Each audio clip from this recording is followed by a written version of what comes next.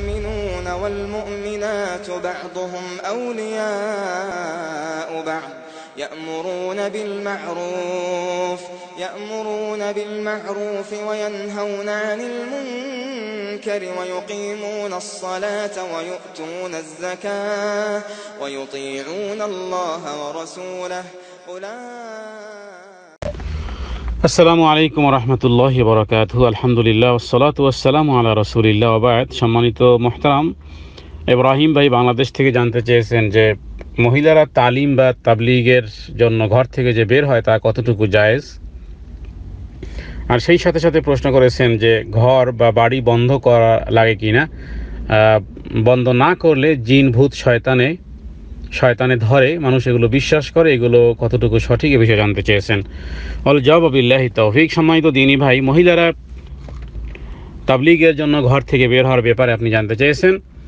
মহিলা কিংবা পুরুষ, উভয়ের উপরে আলমেদিন শিক্ষা করা ততটুকু ফরজ যা আল্লাহ তালা ফরজ করেছেন। রসুল্লাহ সাল্লাহ আলি সাল্লাম বলেছেন, তলাবুল এলমি ফরিদতুন আলা কুল্লি মুসলিম। প্রত্যেক নর নারীর উপরে, মুসলিমের মধ্যে নর এবং নারী উভয় সামিল।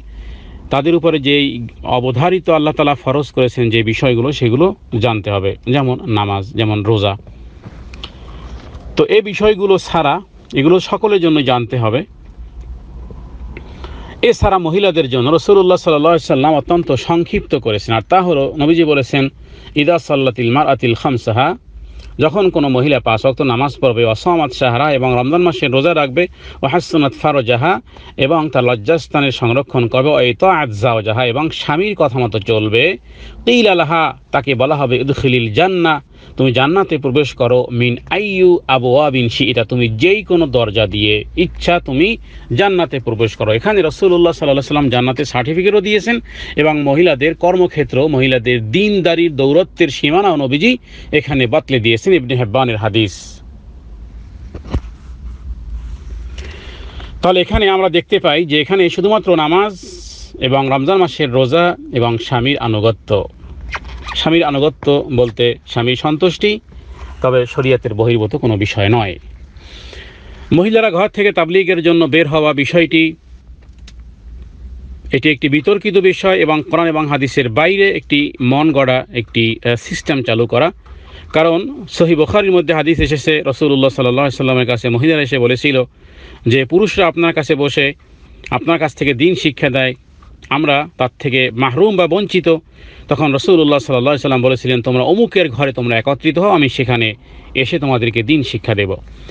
এই হাদিসের মাধ্যমে আমরা বলতে পারি, সেখানে রসুল্লাহ সাল্লাহ সাল্লাম হজরতে আয়সা সিদ্দিক রদি আল্লাহ তালা আনহাকে বের হতে বলতে পারতেন যে, তুমি মহিলাদের কাছে গিয়ে তুমি সেখানে তাদের সাথে তাবলিগ করো, তাদেরকে গিয়ে তুমি দিন প্রচার করো। না। অথচ হজরত আয়সা সিদ্দিক রদি আল্লাহ তালা আনহা হাদিস শাস্ত্রের মধ্যে দ্বিতীয় রাবি হজরতে আবু হরে রদি আল্লাহ তালা আনহুর পরে প্রায় এক হাজার হাদিস তিনি বর্ণনা করেছেন। হজরত আয়সা সিদ্দিক রদি আল্লাহ তালা আনহাকে নবীজি ঘর থেকে বের হয়ে তাকে পাঠাননি।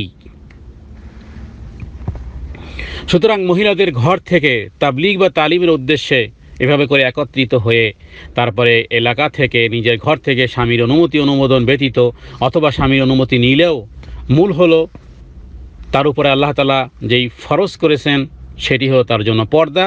পর্দার খেলাফ করে তার থেকে ঘর থেকে বের হওয়ার ক্ষেত্রে রসুল্লাহ সাল্লাহ সাল্লাম আলাদা একটি হাদিসে নবীজি উল্লেখ করেছেন, যেমন ফরজ এবাদত হজ একটা ফরজ এবাদত সেই ফরজ এবাদত ওই ব্যক্তি করতে পারবে না, ওই মহিলা করতে পারবে না যতক্ষণ পর্যন্ত তার মাহরেম তার সাথে না থাকবে। তাহলে ফরজ এবাদত আপনি নফলের জন্যই সুতা দিয়ে আপনি ঘর থেকে বের হয়ে যাইতেছেন, যেখানে আল্লাহ তালা ফরজ এবাদত কমপ্লিট করার জন্যই অপশন রেখে দিয়েছে। যতক্ষণ পর্যন্ত কোনো মাহারেম না থাকবে, ততক্ষণ পর্যন্ত ওই মহিলা, সে যদি সম্পদশালী হয়, তবু সে হজ করতেও যাবে না। কারণ হলো, তার মাহারেম সাথে লাগবে। অথবা এমন ব্যক্তিকে তিনি সাথে নেবেন, যাতে করে তার রাস্তা নিরাপদ এবং যার সাথে বিবাহ হারাম। তাহলে ফরজ এবাদতের ক্ষেত্রে যেখানে একটা সীমানা রেখে দেয়া, দিয়ে দেওয়া হয়েছে, শুধুমাত্র মহিলাদের ক্ষেত্রে, সেখানে এই নফল এবাদতের জন্য এভাবে করে ঘর থেকে বের হয়ে যাওয়া এটা মোটেই হাদিস সম্মত নয়, কোরআনের মানহাজ মোতাবেক নয়। বরং দিনের নামে, তাবলিগের নামে তারা যেগুলো আলোচনা করেন এবং তারা যে সমস্ত কিতাবাদি পড়েন, দেখা গেছে এগুলো অধিকাংশই জাল জৈব দুর্বল বর্ণনা। আর এর দ্বারা মহিলা সমাজের মধ্যে বিভিন্ন কুসংস্কার এবং এবাদতের নামে হাজারো হাজারো বেদাহ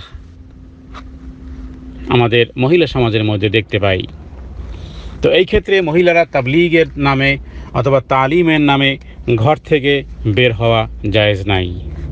যদি জায়েজ হতো হজরত আয়সা সিদ্দিকা রদি আল্লাহ তালা আনহাকে নবীজি তাহলে সেখানেই পাঠাতেন।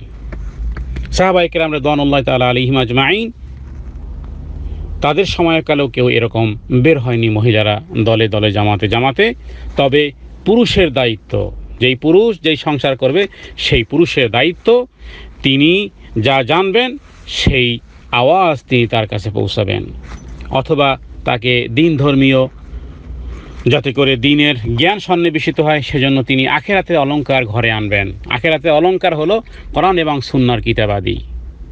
আর জাহান নামের অলংকার হলো আজকে ইলেকট্রনিক্স মিডিয়া, আজকের আমরা, যার মধ্যে আমরা পরিবারকে জাহান্নামের দিকে ঠেলে দিচ্ছি। সুতরাং স্বামী, তিনি আনয়ন করবেন ঘরে ওই জিনিস যা আখেরাতের অলংকার হয়। মহিলারা তারা দিন শিখবে, কোরআন এবং হাদিসের কিতাবাদি তারা আনবেন। কিন্তু আজকে তা না এনে দেখা যায় যে এমন কিছু আমরা সমাজে ঘরের মধ্যে নিয়ে আসি, যেগুলো আমাদের পরিবারকে জাহান্নামের দিকে ঠেলে দিবে।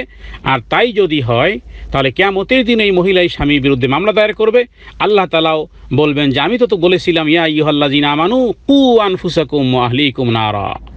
তোমরা নিজেরাও বাঁচো, তোমাদের পরিবারবর্গকেও বাঁচাও। হজরত তোমর রাজি আল্লাহ তালা এই আয়াত সম্পর্কে নবীজিকে জিজ্ঞেস করেছিলেন যে, নিজেদের বাঁচানোর ব্যাপারটা তো বুঝে আসে, কিন্তু আও আহলিকুম নারা, পরিবারবর্গদেরকেও বাঁচাবন বাঁচানোর অর্থ কী? তখন নবীজি বলেছিলেন, তাদেরকে দিনের কাজে সহযোগিতা করে। এটা স্বামীর দায়িত্ব। স্বামী শুধু টাকা পয়সা কামাই করে তার মুখে আহার তুলে দেওয়াই দায়িত্ব না, বরং তার দিন ধার্মিকতার ব্যাপারে যতটুকু সাপোর্ট দেওয়া সেটি করবেন, কিন্তু তাই বলে ঘর থেকে বের করে দিবেন না। দ্বিতীয় ভাই প্রশ্ন করেছেন যে, ঘরে জিন ভূতের মানুষ মনে করে সেই ক্ষেত্রে বাড়ি বন্ধক। বন্ধকের বিষয়টিও কোরআন এবং হাদিস দ্বারা প্রমাণিত নয় বরং রসুল্লাহ সাল্লাহ সাল্লাম বলেছেন যেই ঘরে সুরা বাকারা তেলাওয়াত করা হয় সেইখান থেকে শয়তান পালায়। সুতরাং যদি কোনো বাড়িতে জিনের অথবা কোনো আহ, এরকম কোনো আক্রমণ অথবা এরকমের ভয়ভীতি মনে হয় তাহলে সেখানে তিনি সুরা বাকারা তেলাওয়াত করবেন। রসুল্লাহ সাল্লাহ সাল্লাম তাই বলেছেন যেই ঘরে সুরা বাকারা তেলাওয়াত করা সেখান থেকে দুষ্ট শয়তান, জিন শয়তান তারা পালিয়ে যায়। সুতরাং সুরা বাকারার তেলাওয়াত করুন, নামাজ পড়ুন, জিকির আসকার করুন এবং ঘর থেকে সমস্ত ধরনের শয়তানি নোবেল নাটক আর টিভি আর বেশিয়া আর যত ফিল্ম এগুলো সব ঘর থেকে বের করে দিন।